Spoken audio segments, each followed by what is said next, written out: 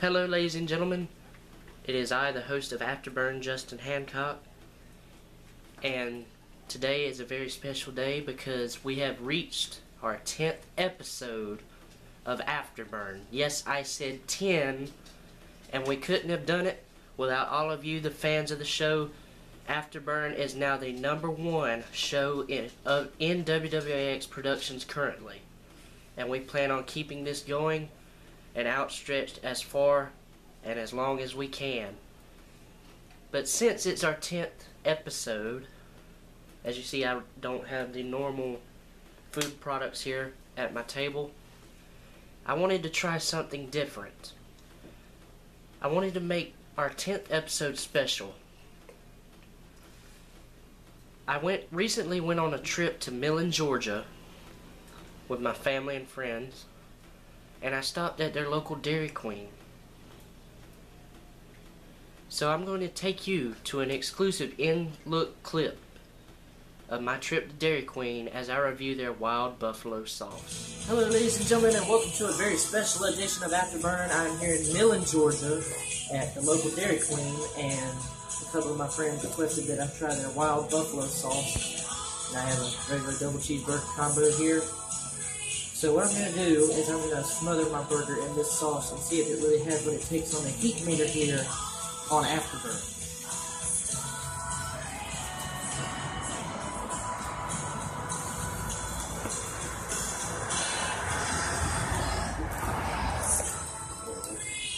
Oh man, he's getting it in there. He's really going for it. I'm all in for special foods on this show. All right, here we go. This is it. Here we go. This is the wild buffalo sauce.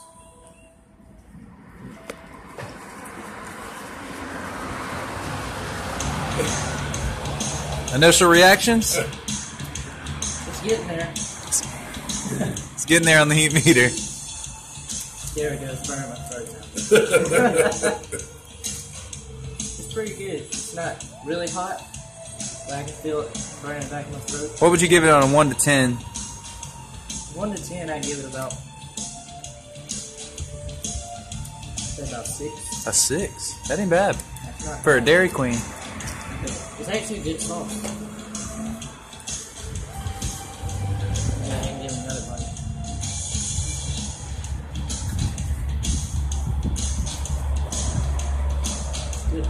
All right, official review of the Wild Buffalo sauce. What do we got?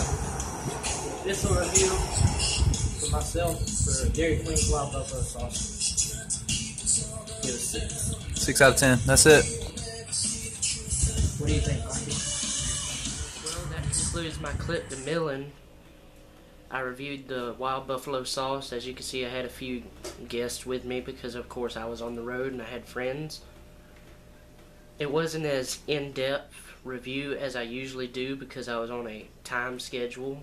I had a show to be at. That's why I was in Millen on the road. But now that I'm here sitting down looking back at the clip, I can give you a little more in-depth review of the wild buffalo sauce.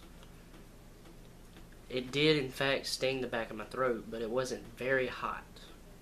It was like a, you know, basic hot sauce. Of course, you get that little sting in the throat if you don't take a swallow of tea or something. But overall, it was really good and I enjoyed it.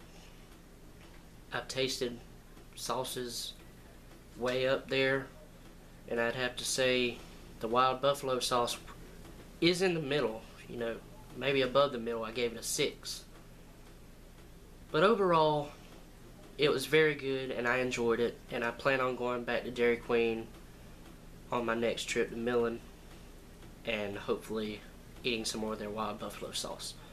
But until next time, as always, I'm Justin Hancock, and if you enjoyed this special edition of Afterburn, leave a comment, rate this video, like it, subscribe, tell me what you thought, and if you, the fans, liked this style of episode, maybe we will do more on the road videos of Afterburn in the future. But until next time, as always, I'm Justin Hancock, and I will see you back here in the Afterburn studio for another edition when we experience the heat. This has been a WWAX production.